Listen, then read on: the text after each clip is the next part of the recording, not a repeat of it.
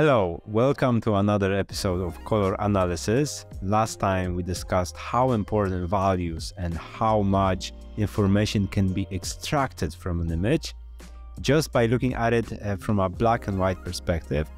We focused on analyzing the lower and upper parts of an image, which we called blacks and whites. We went through many possible traps uh, you can fall into in those areas. Today, we will switch it up and focus only on hues. This will be another aspect you can investigate if the colors are on the right track. We're going to introduce one really trivial concept that will train your eye in the right way, one which will help you to focus on those colors that truly matter. And what matter is the greenery and the sky. That's as much and as little. We're about to tell you why, and uh, as usual, I take a deep dive into the color perception. So let's get at it. Okay, generally, there's a phenomenon that shows we are uh, sharing an understanding of certain colors with other people. You, me, and millions of other people are more sensitive to certain colors than others, and these colors are deeply ingrained in us. See, if I tell you to imagine what a clear and beautiful blue sky looks like, you can immediately bring it to your mind. If I tell you to recall a red brick or dry sand in the desert, you will also have a certain shade in your head. But if I tell you to recall the color of wood, well, you'll definitely have something in your mind, but whether it's going to be light or dark, orange or red, I will never know unless you tell me we won't necessarily be talking about the same thing. So going back, we have certain colors in our mind that we think of similarly. Uh, there are a couple of these colors, but today we will focus on two of the three most important ones that exist. For our purposes, as we said, it will be green and sky. This is what we will focus on, and from now, uh, we will call them memory colors. Memory colors or the effect of memory colors. There is another very important memory color, and that is the skin color. Greenery, sky, and the skin form the trio that you need to pay the most attention to if you work with color. In our course, we do not focus on people, so we will not be analyzing skin. However, the principles we will start talking about uh, in a moment, we will also apply to the skin. You can keep this in the back of your head um, just to train your eye. So whatever the memory color is, it has to be very well adjusted. The greater the deviation from such a natural color, the more we will repel our viewers. They will subconsciously feel that something is wrong because they care about these colors and they understand them the most. Some colors are more important than others. That's just the way it is.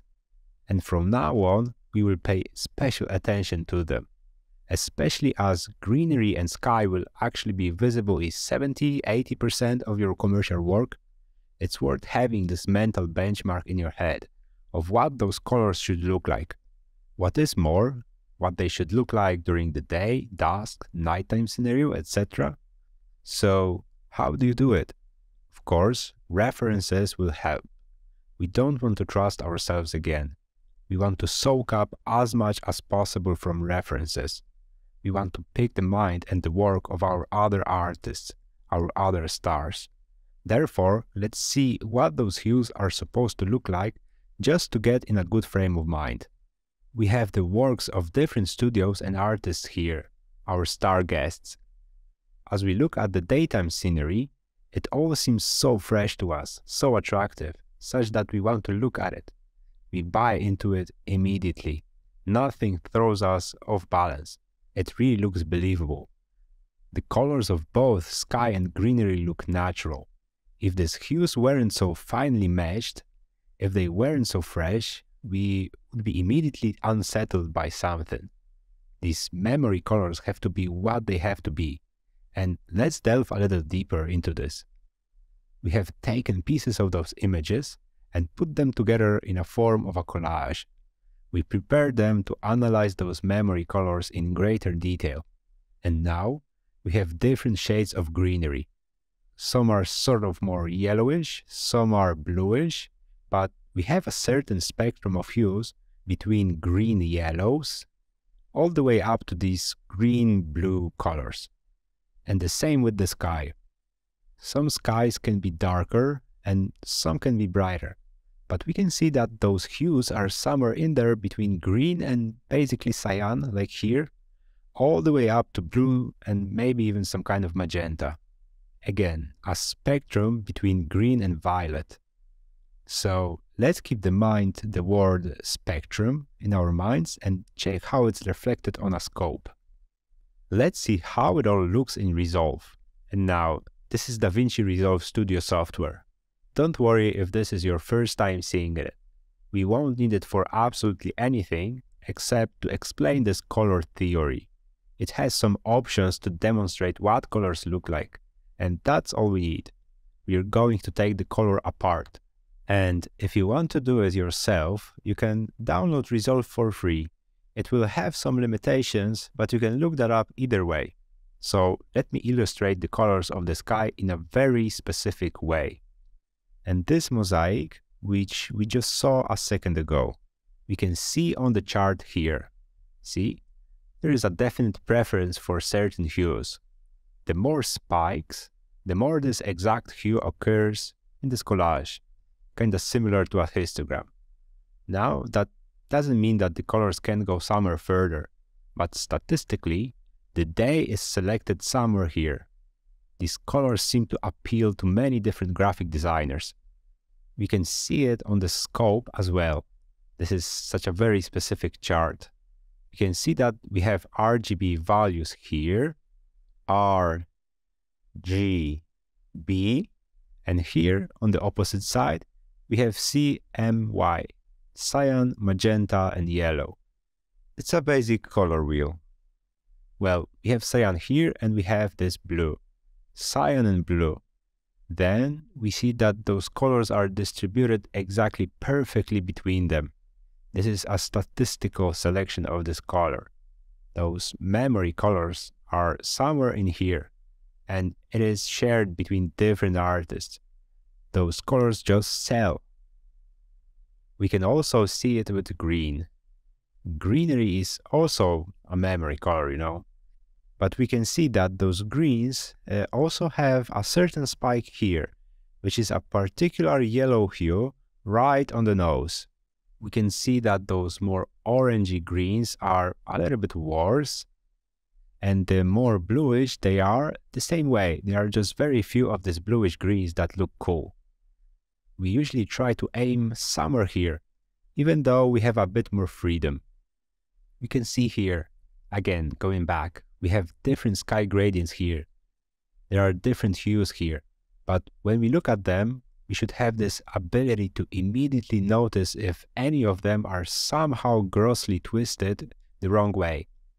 And if you see it for yourself, this shade of green, for example, makes me really spit feathers when I look at this, uh, I think this is far too green.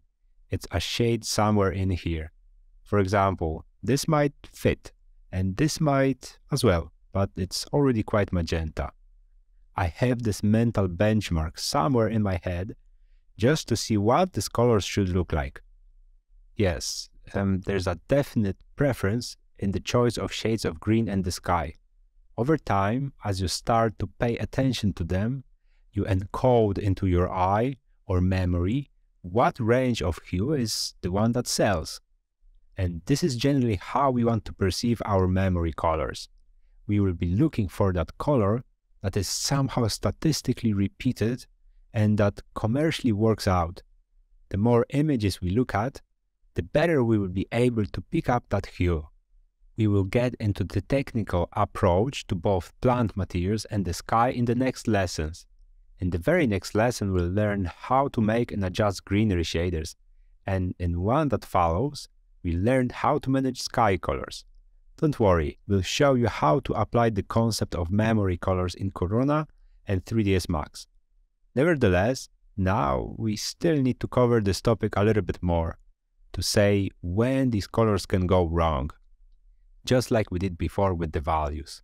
There are a lot of different traps when you lose control, when something starts to look wrong, and often you may not even know it. Sometimes uh, people choose greenery and sky colors spectacularly wrong, and it looks absolutely bad. Often those colors are so twisted that it's really hard to look at them.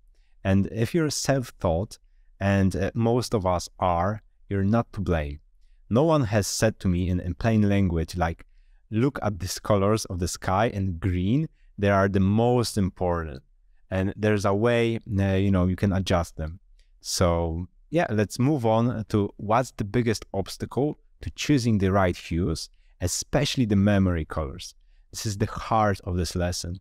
If, even if we don't uh, do something perfectly, it's important to be on your guard when we deviate from those natural colors too much.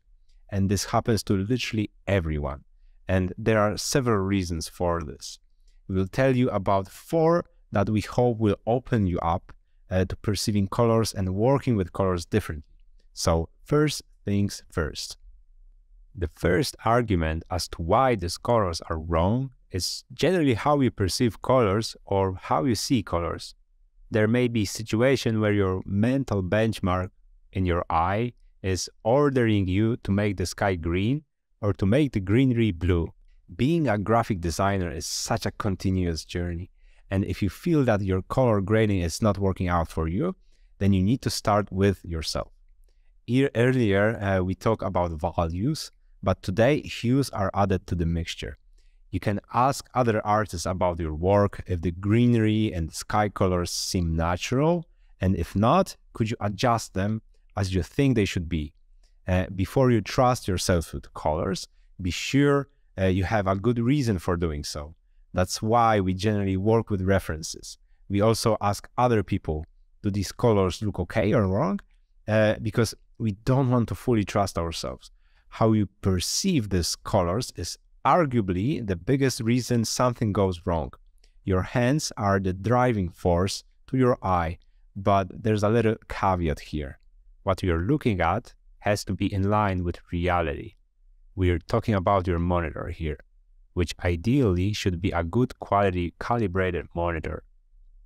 Because having a poorly calibrated monitor is literally trying to fish for gold with a sieve riddled with holes.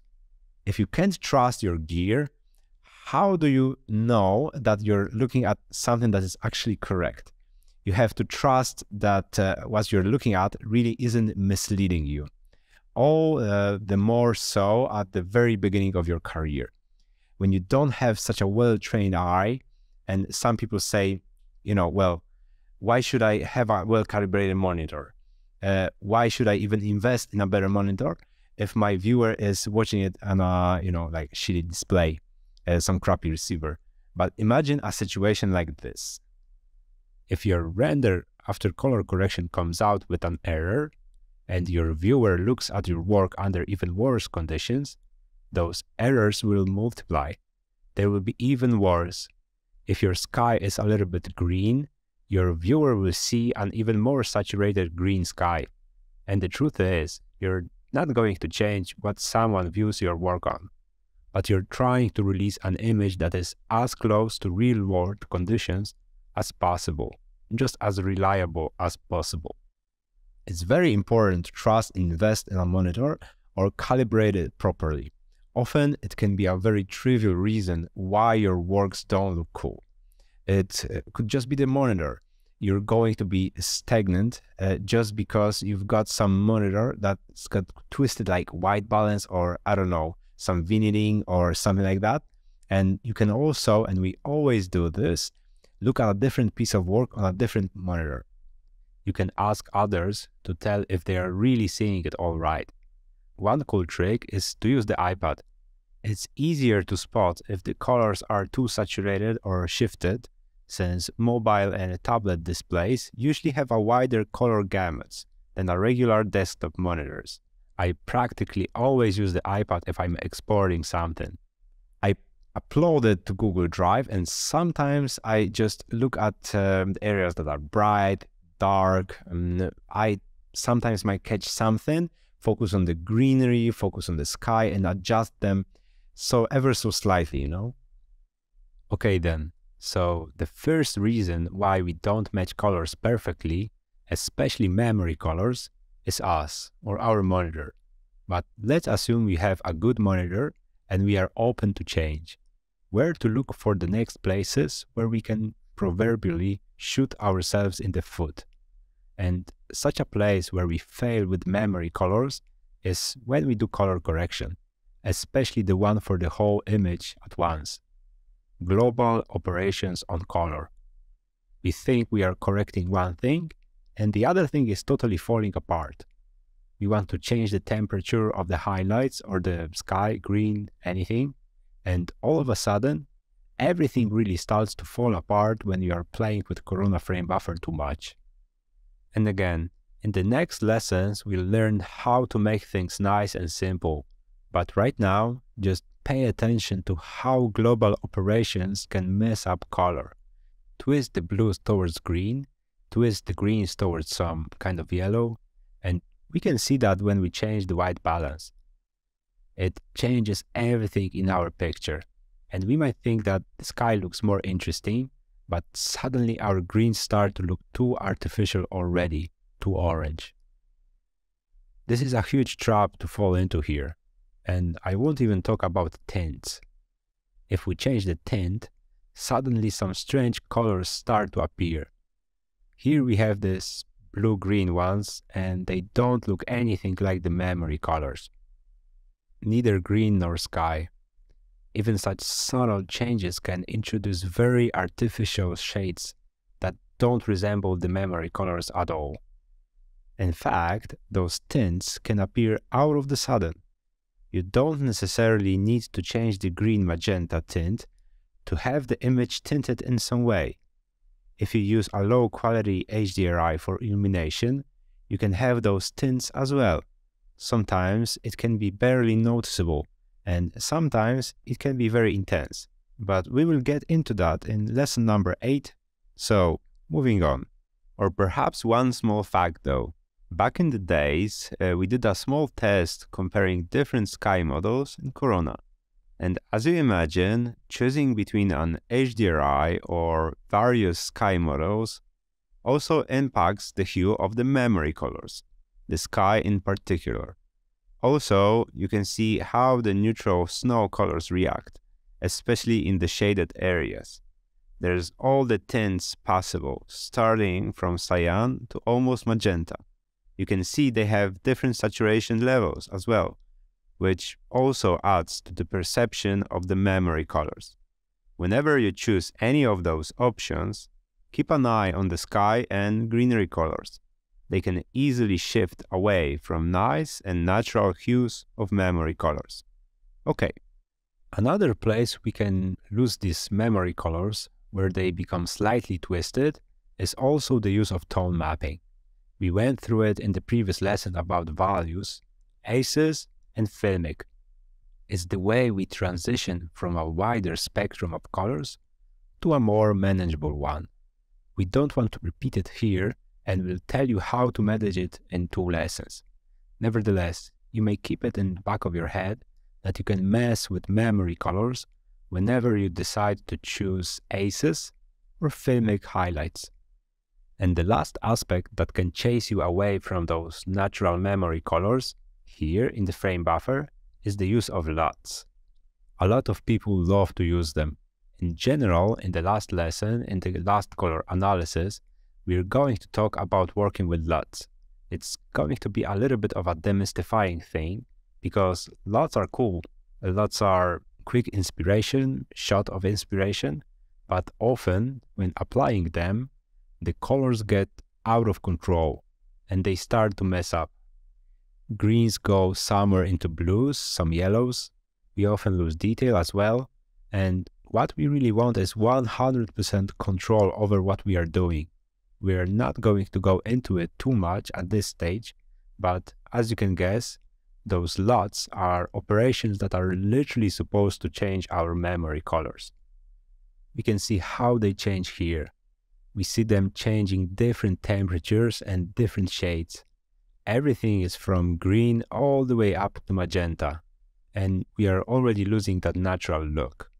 It's out of our control. So if we want to train our own eye and do it consciously, for the time being, we are not going to use LUTs. We want to adjust those colors from scratch so that we have 100% control. So once again, I remind you that how you do this will be told in the next lesson. And now we are just focusing on what can go wrong. If you have been doing any of these operations, chances are that this is where the problem could be. Why those colors don't look as good as they could. Okay, our deliberations end uh, when it comes to the frame buffer, but we have a few other places uh, where you can consider whether you are making a mistake. Another thing is uh, such a fun fact. There's this interesting correlation in working with color that when you've been sitting on something for a, such a long time and the suddenly the colors somehow get out of hand in small steps like you know I, um, you work on something for three to five days. You often come back to the project after a few months and do some tweaks little uh, like operations here and there. Um, you're changing exposure you're changing the saturation. If you if you were to compare what your colors look like in your first image and your last work, you might find out that the memory colors, uh, you know, are a little bit skewed. And uh, interestingly enough, you don't even have to change the hue in your work. You don't have to change, you know, the shade for it to change on its own. Let's check one example here. If we change the brightness, which we have downwards here, and we change the saturation, by the very property of colors, as we increase the brightness and saturation, we have colors from magenta all the way up to greens. So basically the whole spectrum of memory colors. And what we really want is that them to be somewhere in the middle. And by just working on the image, we have one hue that we started to make brighter and more saturated, and we didn't change anything with the hue we just changed that brightness and suddenly, boom, one color becomes another. That's why, by the way, when we had our first lesson on color analysis, we started by landing those tonal ranges from white and black, so that we don't have to change the brightness level anymore, so that we don't have this situation where we lose control through small changes. And let me illustrate it with even more tangible example we have a situation that happens to many artists and they don't even notice. And that situation is to replace the sky properly. Let's look at this example. We have a render in a day scenario, which you know, looks okay, but I think it should definitely benefit from sky replacement. So we selected an image, uh, a nice one, and we are now faced with the issue of adjusting it to match our render. And in 90% of the cases, the image will be darker than what you had in the render initially. So obviously, you're having the issues around trees. Over here. By the way, we will talk about the sky replacement and dealing with the fringe later on, so don't worry about that.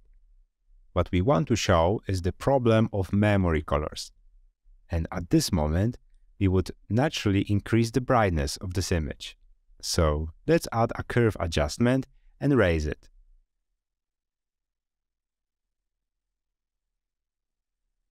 And what can we observe now? Well, we had a natural sky memory color before, and now it's shifted toward blue-green. It literally just changed. When you change the brightness, you shift the hues along the way. That's how colors work. And if you're not careful about it, it, is a quick recipe to ruin the memory colors in your image. So a quick tip is to use a hue and saturation adjustment and shift the color toward magenta back. We can also decrease the saturation because it gets more vivid while increasing the brightness as well. We can save this situation, but you need to be aware of it in the first place. Okay, now let's go back to Resolve again for a moment. It's going to be a bit of a fun fact now, but you'll see how colors can go wrong, how memory colors can go wrong through bad lighting choices. That's exactly what we'll focus on in two lessons with HDRIs. Let's just focus on those memory colors. We have rendered several different images with various HDRIs here. There's no color correction, just raw rendering. We haven't changed anything in the frame buffer, but as you can guess, the sky colors and the green colors are totally different. We can also notice how our scopes reflect it. The sky colors should be somewhere here in the middle, and the green colors should be somewhere in the middle here. And they are going crazy around the scopes in every direction here. You can see that the memory colors are really doing such a micro disco here. If you choose between many different HDRIs, you might end up with such a different illumination and colors overall. It's drastically changing everything. Those are the spectacular errors we were talking about. Green skies and blue greens.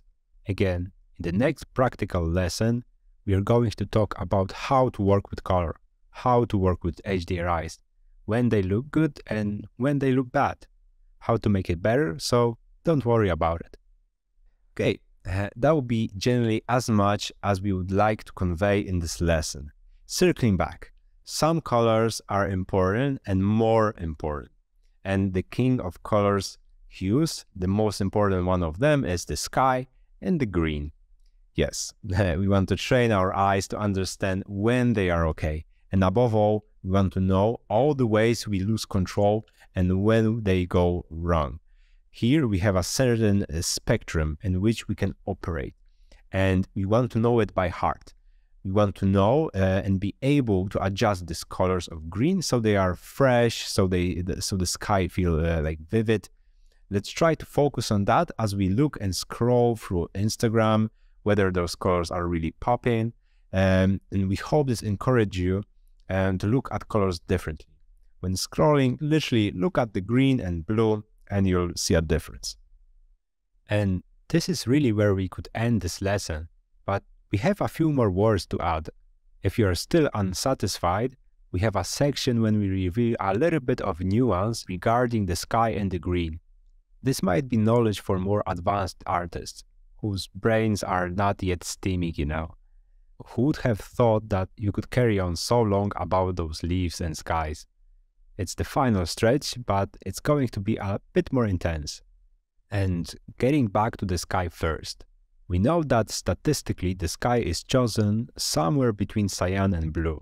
It's such a universal sky color. But will it always look natural and believable?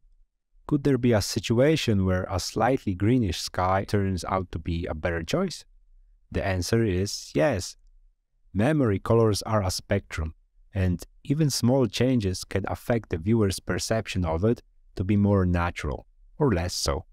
And if we want to make a more believable shade of the sky, we need to delve more into the geographical location and the cultural aspect of our work. You can treat this a little bit as a fun fact.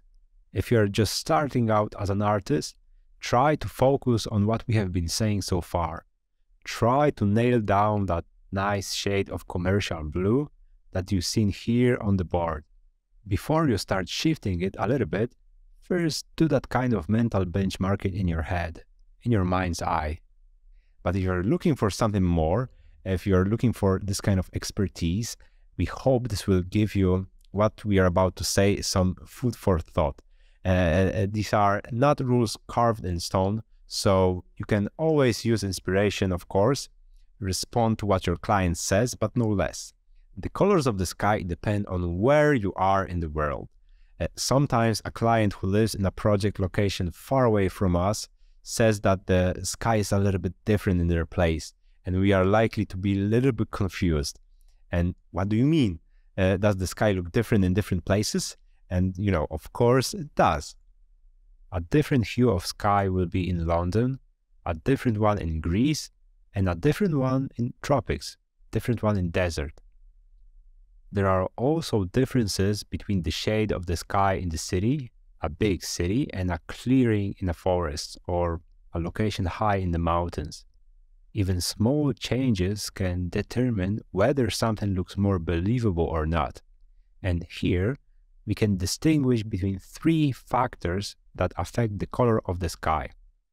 The first would be where you are, or more precisely, where the sun is in the sky.